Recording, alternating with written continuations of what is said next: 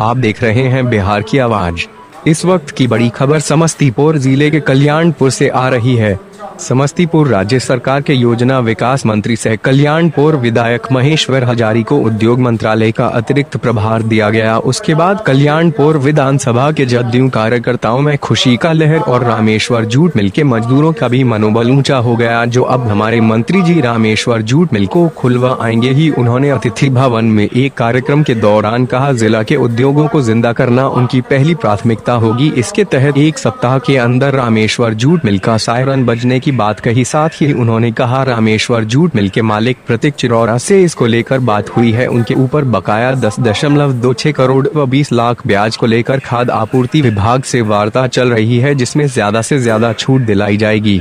जिला प्रशासन से बकाया बिजली बिल में रियायत की बात हुई है। मंत्री ने बताया, उद्योग विभाग की ओर से मिल चालू कराने को लेकर प्रोत्साहन राशि दी जाएगी। वही केंद्र सरकार से भी सहायता को लेकर प्रयास जारी है। इसके शुरू होने से लगभग 5000 मजदूर के परिवारों को रोज़गार मिल सकेगा और उन्होंने कहा, मेरे लिए है बहुत बड़ा खुशी का दिन है। हमारे तरफ़ से हर संभव प्रयास किया जाएगा। किसी भी गरीब मजदूर को कोई परेशानी न हो। इसके लिए मैं सदा उनके साथ खड़ा हूँ। वही मौके पर विधायक प्रतिनिधि राजकुमार जी, जिला युवा महासचिव राजीव कुमार उर्फ़ पिंटू सिंह, जिला उपाध्यक्ष भोला कुमार सिंह, वरिष्ठ कार्यकर्ता मुकेश कुमार राय, पूसा प्रखंड अध्यक्ष रणधीर कुमार मौजूद थे जिला समाहर्ता समस्तीपुर से बात की और उन्होंने कहा है शाम तक बैठ करके इस पर भी हम लोग जो भी बिहार सरकार की तरफ़ से इनको सहायता देने को होगी उनको सहायता देने का काम करें, उद्योग विभाग से प्रोत्साहन राशि दी जाती है। बिहार सरकार की तरफ़ से हमने कहा कि उद्योग विभाग से जो भी प्रोत्साहन राशि की, जो विधि सम्मत होगा वो अभी बढ़ चढ़ के शीघ्र जल्द से जल्द कराने का काम करेंगे। उन्होंने आश्वासन दिया है कि एक सप्ताह के अंदर मतलब एक सप्ताह में उनका आदमी सब आ गया है वहाँ जुट में आज से आ गया है। और कल से मेंटेनेंस का काम प्रारंभ कर देगा। मेंटेनेंस मतलब बहुत दिन से लग गया है तो जंग लग गया है साफ़ सुथरा करना होगा।